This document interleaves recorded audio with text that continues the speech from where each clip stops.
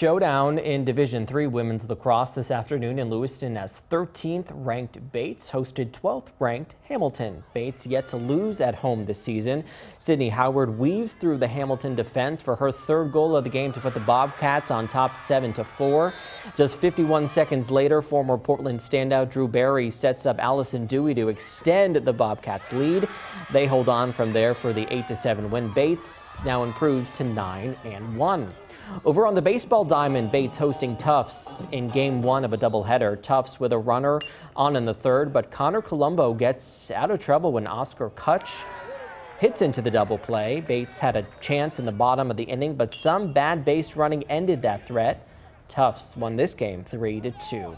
Red Sox wrapping up the